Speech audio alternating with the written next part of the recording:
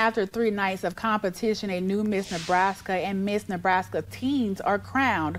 The competition taking center stage at the North Platte High School's Performing Arts Center. Miss Douglas County Rachel Warren was crowned Miss Nebraska 2024. She also won the past two nights of preliminaries in the evening gown and talent award category. Warren, who is 28 years old and also the oldest contestant to win the title, says she's ready to skate her way throughout the state to promote her platform Passion to Purpose.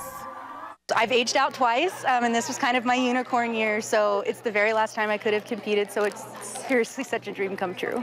I uh, occurred as a collegiate soccer injury to be able to skate anymore, but I knew I wanted to. And through that injury is how I created my platform, Passion to Purpose, which is just aims to show kids that find your community and that mentorship is so important and that when people come alongside you, they can make a difference and you have a purpose.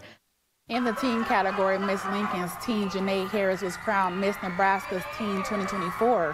Harris said she's looking forward to sharing her platform made for more overcome and inspire just so relieved as the countdown was going down. My heart was racing, and looking into Clara's eyes was just so surreal. And just all of the girls in this class, they have been just so amazing and kind, and the sisterhood has really been shown. To see who rounded out the top five in the competition, just head over to our website.